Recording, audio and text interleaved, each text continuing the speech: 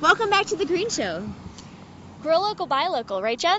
Yup, so the best way you can support your local composting programs is to buy locally made compost from the High Country Compost facility. So when you purchase High Country Compost, your dollar is being spent to also support local diversion programs like composting in the schools. That program, the kids in the elementary schools and the high school, they're diverting their food waste in the cafeteria, and that food waste is going up um, to the High Country Composting facility. You're also going to, your money is also supporting other programs like zero waste events throughout the community and commercial composting efforts. So now you can go and purchase compost in your community and then go home and directly add it to your garden. Your plants will love it.